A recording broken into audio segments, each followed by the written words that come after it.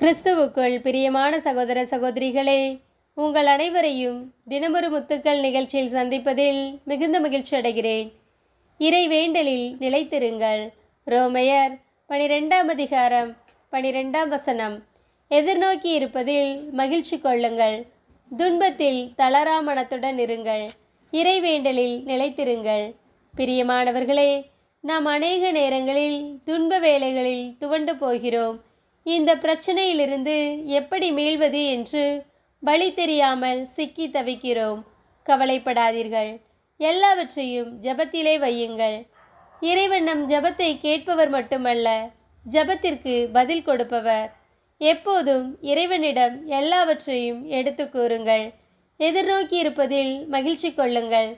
இறைவன் நம் கண்ணீரை காண்பவர். அன்று வனாந்தரத்திலே அலைந்து திரிந்த ஆகாரின் கண்ணீரை கண்டவர். ஆலயத்திலே அழுத அன்னாளின் கண்ணீரை கண்டவர். இன்று நம் கண்ணீரையும் காண்கிறார். நம் கதறலை உற்று கேட்கிறார். நிச்சயம் நம் பிரச்சனைகளை மாற்றி நமக்கு விடுதலை தருவார்.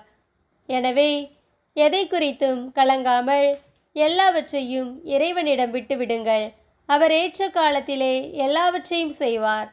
அவர் நம் வாழ்வில் அனுமதிப்பது அனைத்தும் நம் நன்மைக்கே. யோபு எல்லாவற்றையும் இழந்த போதிலும் இறைவன் மீதுள்ள விசுவாசத்தை இழக்கவில்லை. எனவே இழந்த எல்லாவற்றையும் இருமடங்காய் திரும்ப பெற்றுக்கொண்டார் நாமும் யோபுவை போன்று இறைவனை உறுதியாய் பற்றிக் கொள்வோம். அன்பு இறைவா நாங்கள் பிரச்சனைகளைக் கண்டு பயந்து ஓடாமல் உம் மீதுள்ள விசுவாசத்தில் ஒவ்வொரு நாளும் அவைகளை எதிர்கொள்ள எங்களுக்கு பலன் தாரும் என்று அவரை நோக்கி ஜெபிப்போம். ஆமேன்.